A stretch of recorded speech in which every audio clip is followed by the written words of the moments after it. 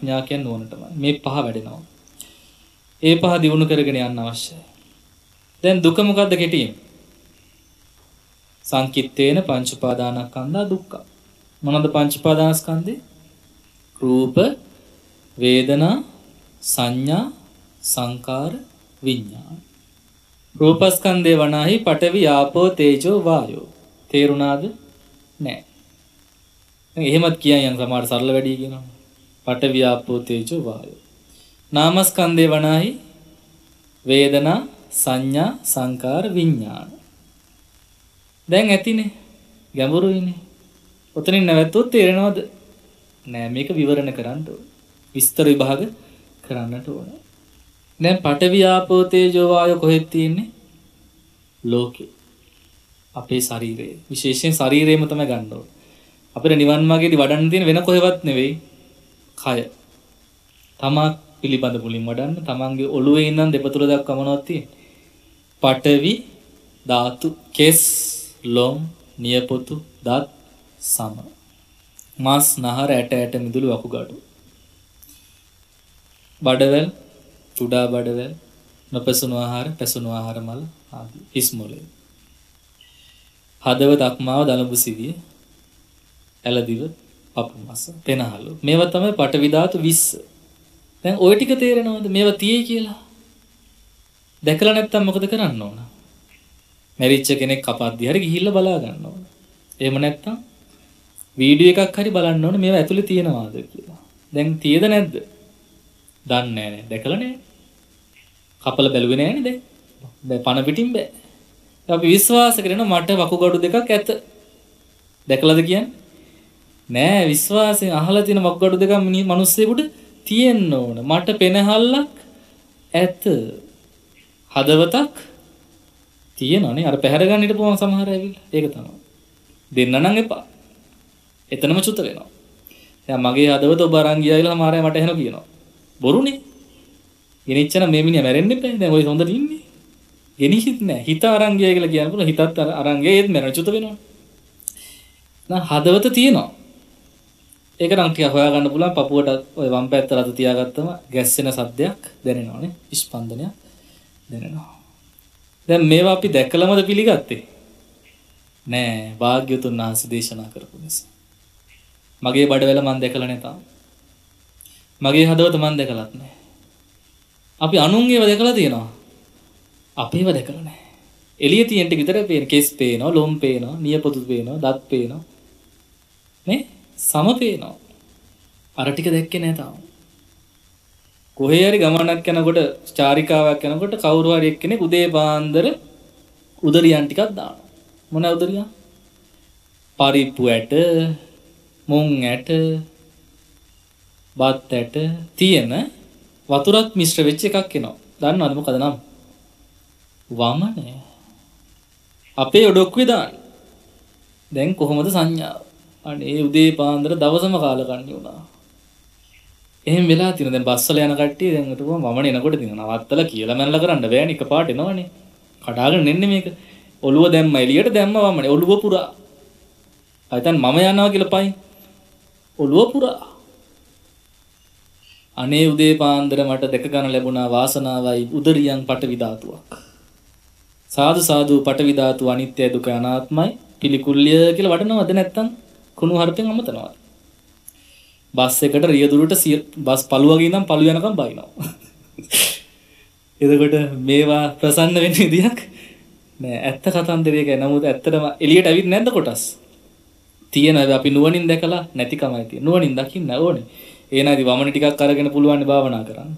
බෑ ඒක කරන්න බෑ. හැබැයි ආවොත් අපි අවාසිය වාසියක් බවට නිතරම පත් කරගන්න දක්ෂ වෙන්න ඕන. නැත්තම් ගැටෙන දැන් ලෝකෙට ගැටෙන්න බෑ. වෙන දෙන්නේ වමනේ ආවනම් දැන් වමනෙත් එක්ක ගඳක් එනවා නේද ගඳක් එනවා මේ ඇතුලේ තියෙන தත්ත්වය පිටට පේන්නේ දැන් මේක අනිත් පැත්ත ගවන ඕක තමයි தත්ත්වය දැන් මේ පටවි ධාතු ටික වහන් ඉන්න නිසා අපිට පේන්නේ නැහැ ලස්සනට පේනනේ දැන් මේ උපාසිකාව වැඩිපුර මොකද කරන්නේ වහනවා තව ටිකක්.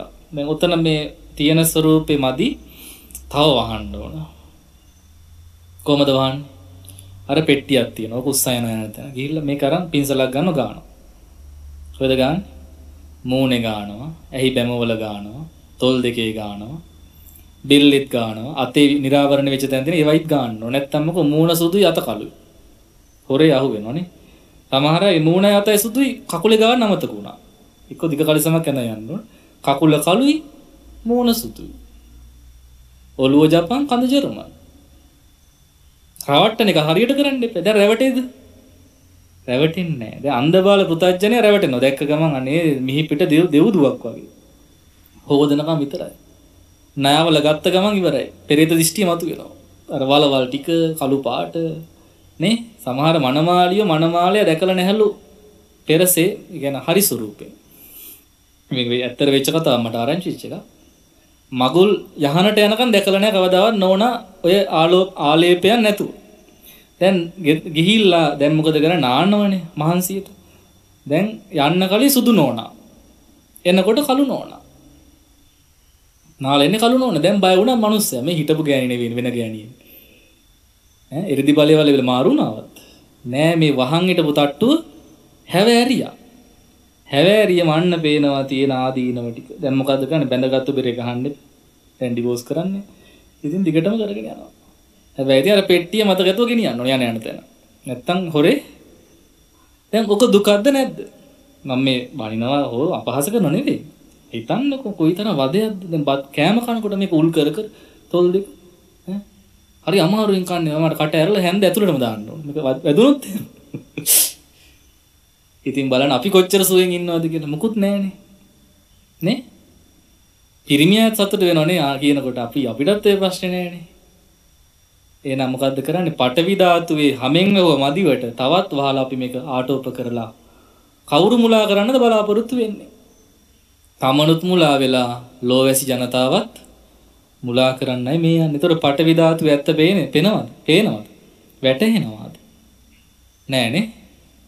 වැටහෙන්න දෙන්නේ නෑ වහලා දානවා. නෑ ඇත්ත කතන්දරේ තියෙන ඇතුළට හිත යොමු කරලා බලනකොට වමනේ ටික දැක්ක ගමන් අන්න පිළිකුල් බවක් පේනවා. අනිත්‍ය බව වැටහෙනවා. මල මුත්‍රාවලින් දුංගඳ වැටහෙනවා.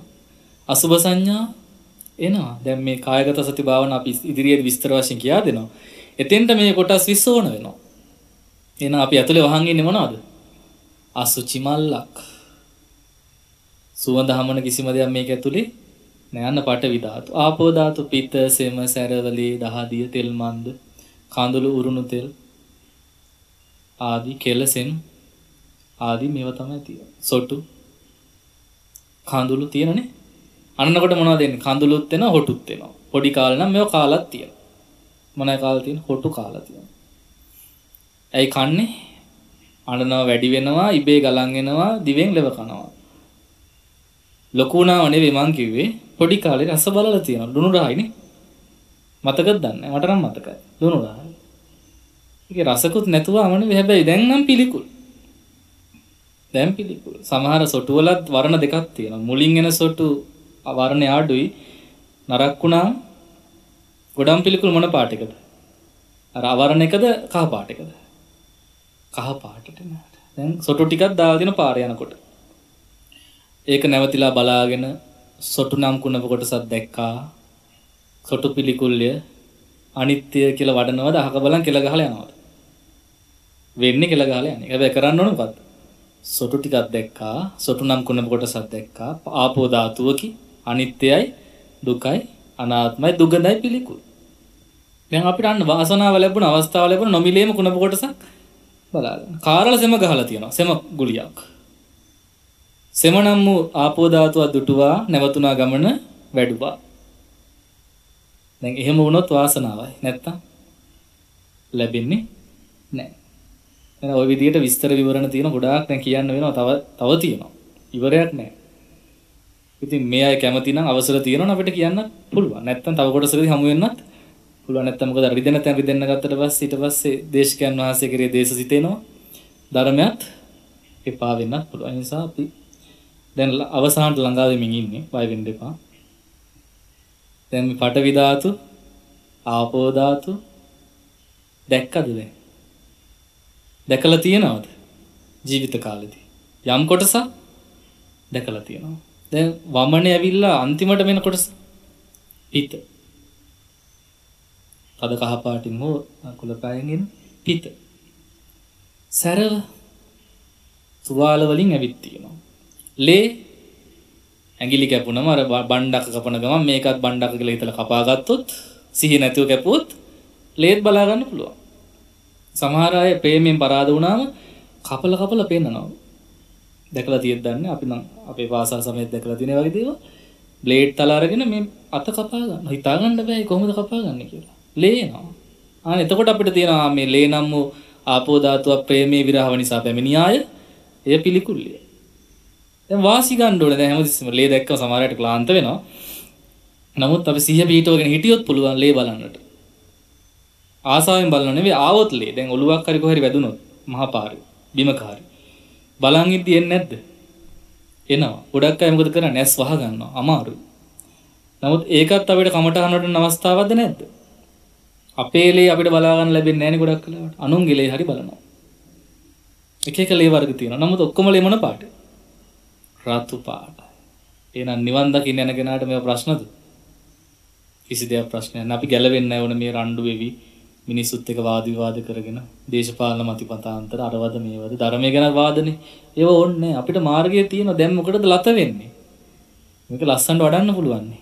කරගෙන යන්න. දැන් මේ කියද්දි වැඩෙන්නේ නැද්ද? කියද්දි වැඩෙනවා. ගෙදර ගියාම වැඩෙන්නේ නැති වෙ දැන් වැඩෙනවා. ඇයි ලේ මතක් කරලා දෙන කෙනෙක් නෑ ගෙදර? දැන් නෝනට කියලා තියෙනවා මට ආපෝ ධාතු මතක් කරලා දෙන්න කියලා කියනවා. එතකොට මහත්තයාට මතක් කරනවා. මහත්තයා නෝනට කල්යාණ මිත්‍ර වෙන්න මතක් කරන්න. මෙහෙම තමයි තියෙන්නේ. දැන් ওই ටික තේජෝ ධාතු වායෝ ධාතු තියෙනවා. උණුසුම සීතල ගතිය වායෝ ධාතුවත් වෙනම දැන් තව විස්තර කරන්නම් පසුව. දැන් මේකට බැඳෙන්නේ කොහෙන්ද? මේක තියෙන බව දැනගන්නේ කවුද? කෙස් තියෙයි කියලා. සිත. නැත්නම් නාමය. රූපේ දැනගන්නේ නාමයෙන්. ඒ නාමයේ මොනවද තියෙන්නේ? වේදනා සංඥා සංකා වේදනා කියන විදින ස්වභාව. සංඥා කියන හඳුනන ලකුණු දානවා. ලකුණු කරගන්න ස්වභාවය. සංඥා හඳුනා ගැනීම කියලා අපි කියන සිංහලේ. සංකාර කියන චේතනා සමූහයට. චෛසික 50 52කින් 50. මොකද වේදනාවටයි සංඥාවට දෙකක් අයින් වුණා චෛසික. එතකොට ඉතුරු 50ම චේතනා. විඥානය කියන්නේ අභිධර්ම ක්‍රමයට ගත්තොත් සිත් 89. සූත්‍ර ක්‍රමයට ගත්තොත් විඥාන 6. චක්කු විඥාන ආදී 6. දැන් මේ ටික තියනවද නැද්ද අපිට? තියෙනවා. අපි මේ බණ කියන්නේ ඔබ බණ අහන්නේ මේවයි. විඳීමෙන්, හැඳිනීමෙන්, චේතනා පහළ වීමෙන්, සිත පැවැත්වීමෙන්. දැන් මේ දඟලන්නේ මොකක්ද එහෙට මෙහෙට? රූපස්කන්ධය. පඨවි ආපෝ තේජෝ වායෝ දැන් කිපිලා තියෙන්නේ හොඳටම කිපිලා තියෙන්නේ. දැන් එහෙට දඟලනවා. මෙහෙට දඟලනවා දැන් නම් අමාරුයි. පඨවි ධාතුර අමාරුයි. පඨවි ධාතුව තද නිසා වදිනවා. මොකද අපි වාඩි වෙලා ඉන්නේ පඨවි ධාතුවේනේ. තදම පඨවි ධාතුවනේ දැන් ඉන්නේ වාඩි වෙලා. චුට්ටක් අර කුෂන් එක වගේ වඩනවා නම් පටවි ධාතුව ටිකක් සියුම් වෙනවා. එතකොට අමාරු නෑ. ආයෙ වාඩිනකොට ඒකක් දාගන්න. එතකොට පටවි ධාතු දෙක දැඩිව ගැටෙන්නේ නැති නිසා තව ටිකක් වෙලා ඉන්න පුළුවන්. ඒක නේද වෙන්නේ? දැනගත්තේ කවුද? වේදනාවෙන්. දැන් මොන වේදනාවක් දැනෙන ඔබට? සැපද දුකද? උත්තර දෙන්න නැත්නම් මන් දන්නේ නැහැ. කයට දුක් වේදනා, හිතට සැප වේදනා. නැද්ද උද? ඔව්. මට නම් සැපයි. ඇයි? මට බුදුරජාණන් වහන්සේගේ ධර්මයේ පැය දෙකකට ආසන්න කාලයක් අද මේ දේශනා කරගන්න වාසනාව ලැබුණ නිසා. ඔබට සැපයි ධර්මය අහගන්න දැන් වාසනාව ලැබුණු නිසා. දැන් අපි පතන්න ඕන අපිට නැවත නැවතත් මෙවැනි ධර්ම දේශනා කරන්නත් ශ්‍රවණය කරන්නත් ලැබේවා කියලා. ඒකත් ආත්ම දෘෂ්ටියක් තණ්හාවක්ද? නෑ කුසල ඡන්දයක්.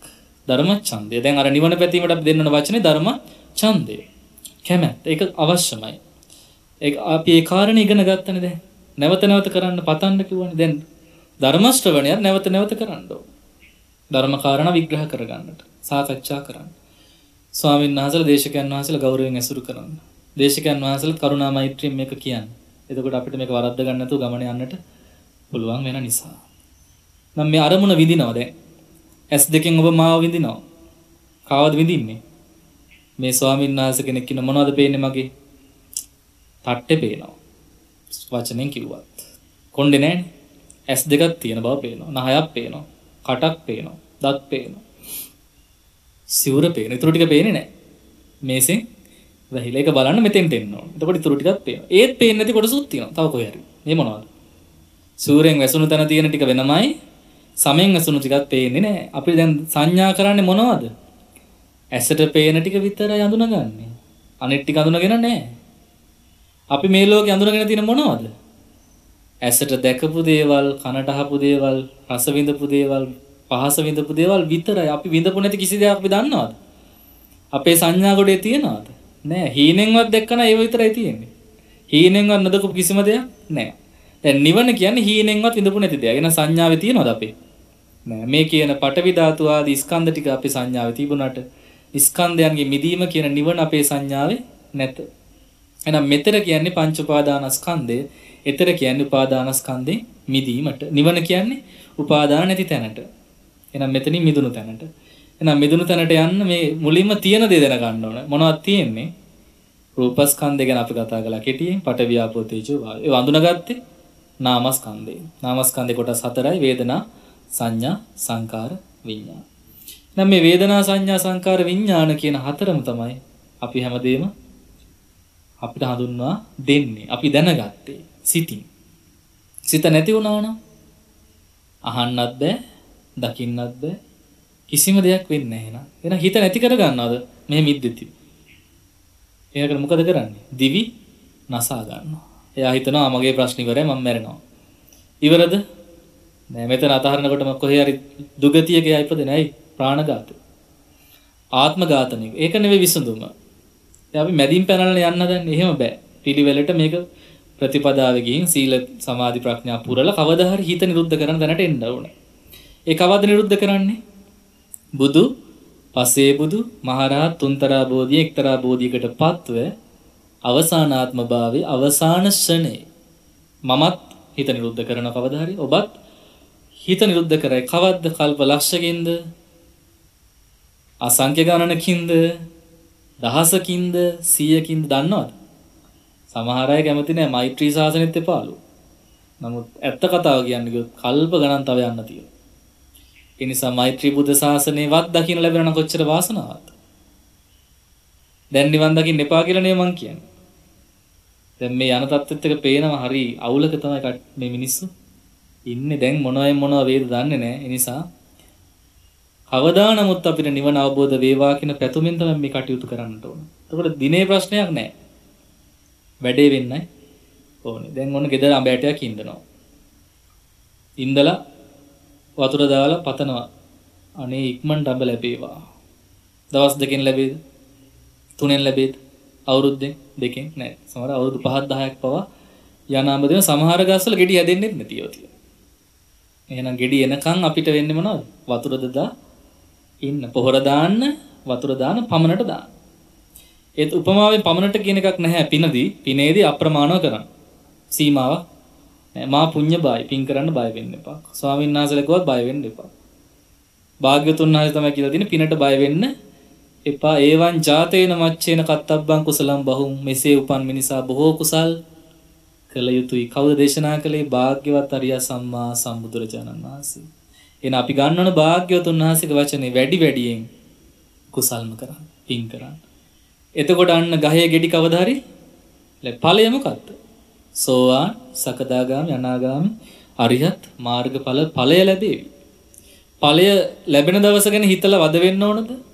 නෑ ඒක අද වේවා, හෙට වේවා, මතු ආත්මේ වේවා, කල්ප ලක්ෂයකින් වේවා කවදා හෝ ලැබෙන දවසක ලැබේ.